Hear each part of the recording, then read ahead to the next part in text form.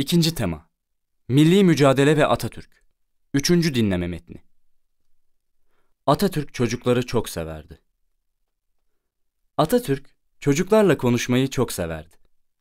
Bir gün Çankaya sırtlarına dolaşmaya çıkmıştı. Küçük bir çocuğa rastladı. Adın nedir senin bakayım? Cemil efendim. Çankaya'da mı oturuyorsunuz? Hayır, Ayrancı'da. Okula gidiyor musun? Evet efendim, gidiyorum. E, ne okuyorsun orada? Her şeyi okuyoruz. Peki, ben kimim Cemil?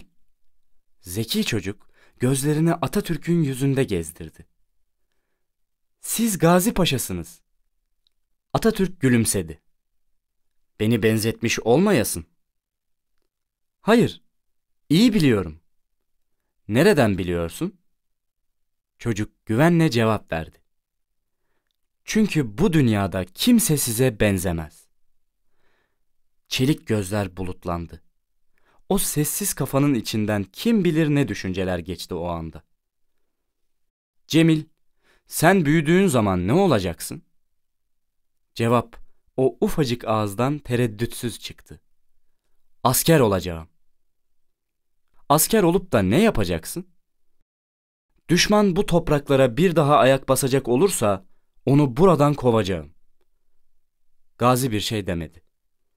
Küçük Cemil'i kollarından tuttu, kaldırdı. Alnına sıcak bir öpücük kondurdu. Hacı Angı, çocuk gözüyle Atatürk, kısaltılmıştır.